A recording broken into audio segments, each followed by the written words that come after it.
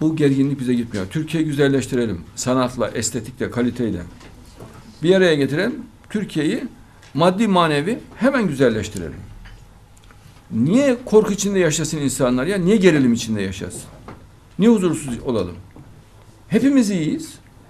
E, hepimiz iyi olduğumuza göre hepimiz mutlu olmamız lazım. O zaman tanışalım, görüşelim, anlaşalım, huzurlu olalım.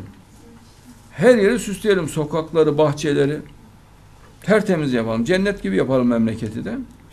Huzur içinde yaşayalım. Dünyada daha huzur içinde olalım, ahirette de huzur içinde olalım.